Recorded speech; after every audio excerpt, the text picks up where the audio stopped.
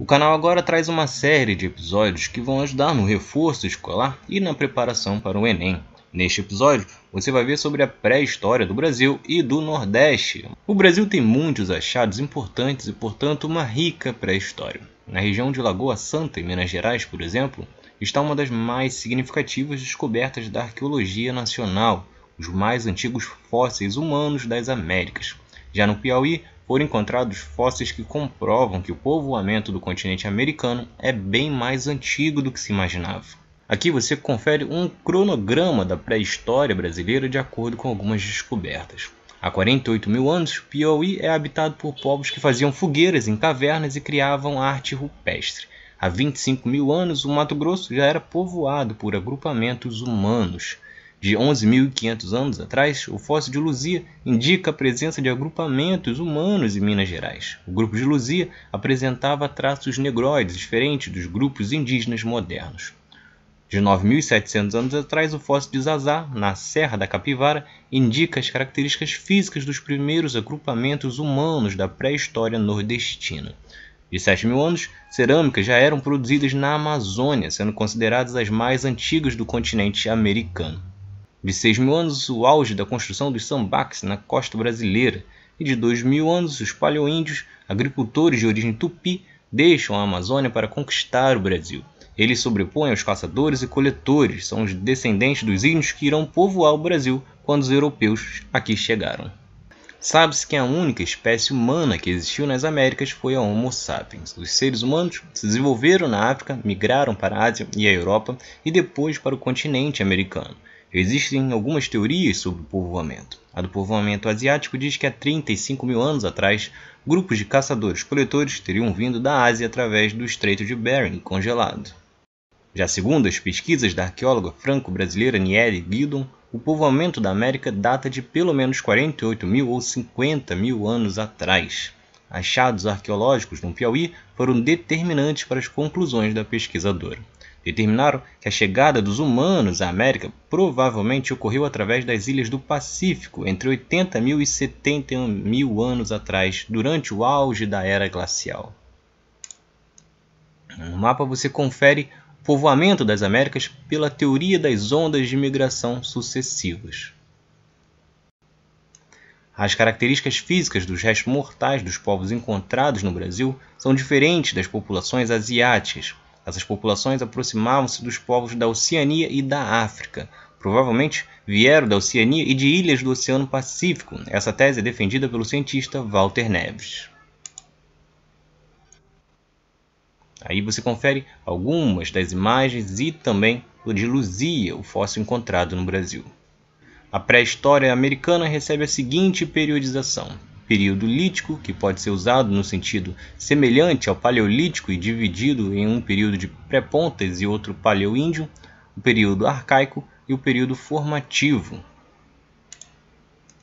A pré-história brasileira, baseada em aspectos culturais, está dividida em dois períodos.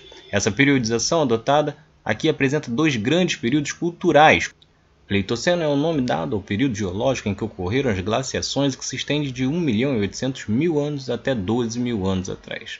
As culturas brasileiras do Pleitoceno são as mais antigas. São encontrados vestígios dessas culturas em Minas Gerais, Goiás, Piauí, Pernambuco e Rio Grande do Norte. Os grupos pleitocenos eram nômades mais ou menos coesos, sendo formados por um número reduzido de membros. Viviam em cavernas e abrigos, sob rochas, no topo de colinas ou próximos a rios. Produziam ferramentas em pedra para bater os animais e retirar a sua pele. No Pleitoceno, o clima era mais frio e seco. A natureza oferecia fauna abundante, fornecendo caça de pequeno e médio porte, que podia ser apanhada com porretes e armadilhas. A megafauna, composta por grandes animais como Glyptodonte, tatu gigante, e a preguiça gigante, era abundante. Foram encontrados na região de Lagoa Santa, Minas Gerais, na década de 70, os ossos e o crânio de uma mulher batizada pelos arqueólogos de Luzia. O crânio é a comprovação da existência de grupos humanos há cerca de 11.500 anos atrás. Suas características físicas a relacionam com os grupos australoides. Já o Holoceno começou há aproximadamente 12 mil anos com o processo de aquecimento global. Houve mudanças na flora e fauna mundiais, com a extinção em massa e o surgimento de novos modelos de habitats. De modo geral, podemos dividir o Oceano a partir do desenvolvimento da cerâmica, pré-cerâmica, entre 2.000 e 5.000 anos atrás, e a ceramista, a partir de 5.000 anos atrás. Neste período, com o domínio da agricultura, as populações pré-históricas tiveram um crescimento demográfico sensível e alguns grupos deixaram de ser nômades para se tornar sedentários. Com o fim do auge da era glacial, vários grupos de caçadores-coletores se desenvolveram nas regiões centro-oeste e nordeste do Brasil.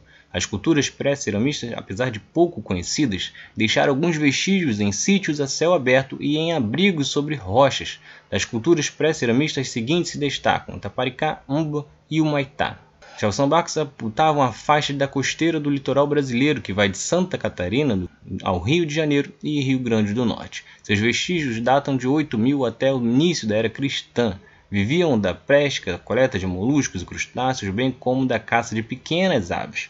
Construíam grandes montes de areia, terra e conchas. Os sambaques alguns chegando a 35 metros de altura. Esses montes artificiais serviam para rituais de sepultamento. Produziam objetos em osso, pedra e cestarias, além de canoas em madeira. As ossadas desses índios demonstram que eles eram robustos, possuíam um crânio alto, nariz largo e altura média de 1,61m. Os sambacos também eram chamados de marisqueiros ou concheiros, produziam cerâmicas de diferentes formas. Além do Brasil, os sambacos também foram construídos na Flórida, em Portugal e em outros países.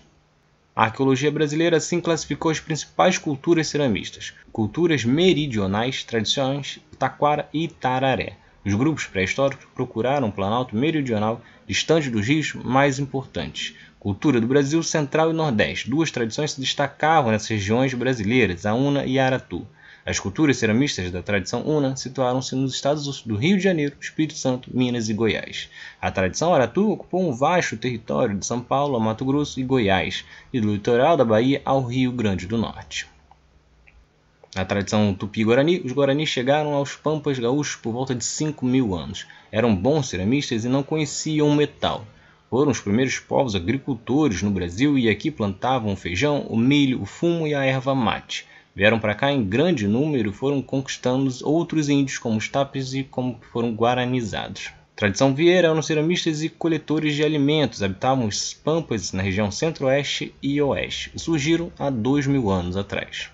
Agora, as culturas amazônicas. Na Amazônia podemos encontrar vários indícios de culturas expressivas da pré-história. Desde o período pré-ceramista, por volta de 12 mil anos atrás, há sinais de ocupação da bacia amazônica por populações de caçadores, pescadores e coletores. As culturas mais marcantes dessa região são Marajoara ou Iatá Pajônica, associadas às duas tradições ceramistas diferentes. As principais culturas amazônicas foram a Marajoara, Tapajó ou cultura Santarém, Conduri Rio Trombetas e cultura Maracá. A cultura marajoara foi a que obteve a maior complexidade social na pré-história brasileira. Formaram uma verdadeira civilização na Amazônia brasileira com cascados caciques que assumiam verdadeiros estados indígenas, poderosos, arquiteturas sofisticadas e uma arte singular. Produziam cerâmicas sofisticadas utilizadas em cerimônias religiosas de sepultamento ou em ritos de passagem. Surgida na região do Baixo Rio Tapajós, desenvolveu-se também a chamada cultura Santarém ou cultura Tapajó. Estatuetas representando homens e mulheres usando suas insígnias sociais denotavam a elaborada estratificação do povo Tapajó. Possuía uma sociedade estratificada e uma arte desenvolvida, reconhecida desde o século XIX por naturalistas e viajantes. A cultura Conduri foi contemporânea da cultura Santarém, desenvolvida na região dos rios Trombetas e Enmundá. Localizado na região de Santarém, o Rio Trombetas viu florescer uma cultura lítica ímpar. Produziam objetos em pedra que representavam seres da natureza como peixes, seres híbridos, humanos e animais, lembrando xamãs em ritos religiosos jaguares. Cultura Maracá, no interior de grutas e abrigos sob rochas na região do Rio Maracá, foram encontradas urnas funerárias em inúmeros sítios de sepultamento, comprovando culto aos mortos praticados por essa cultura. Em todos os estados da região são encontrados sítios arqueológicos Bahia, Sergipe, Alagoas, Pernambuco, Rio Grande do Norte, Ceará, Piauí e Paraíba. Foram encontrados achados referentes a diferentes grupos e períodos da pré-história brasileira. No Piauí estão os sítios que comprovam a antiguidade do povoamento do Brasil e das Américas. Os sítios arqueológicos apresentam uma riqueza de achados imensas, restos mortais, adornos, esteiras, artefatos de pedra, cestos, cerâmicas e pinturas rupestres. A Serra da Capivara possui um dos mais importantes conjuntos de sítios arqueológicos brasileiros e, por que não dizer, do mundo. Lá foram encontradas inúmeras pinturas rupestres, restos de fogueiras, ossos e outros artefatos. São indícios importantes da presença humana no Brasil e nas Américas por centenas de milhares de anos. Aí você vê a Pedra do Ingá na Paraíba.